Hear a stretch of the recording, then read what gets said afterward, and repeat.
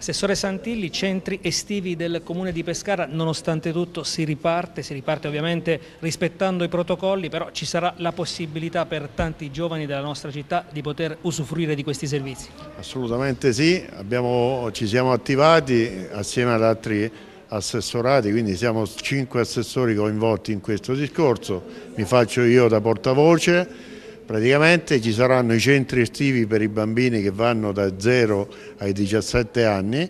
Noi abbiamo creato, dato la possibilità con due bandi. Uno è uscito per far fare la domanda alle varie associazioni e cooperative e l'altro è uscito eh, due giorni fa per le famiglie per aderire a questa attività.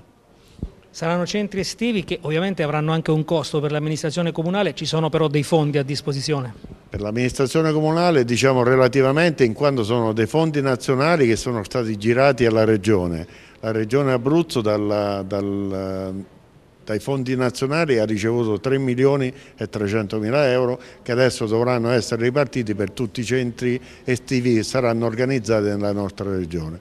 Ci saranno diversi parchi eh, della città di Pescara dove sarà possibile svolgere attività. Le associazioni potranno fare la richiesta, eh, le attività saranno svolte principalmente dentro i parchi ma anche all'interno degli impianti sportivi. Impianti sportivi che sono lo stadio Adriatico Giovanni Cornacchia, stadio, il campo sportivo di Zanni e il, campo sportivo dei Gesuiti.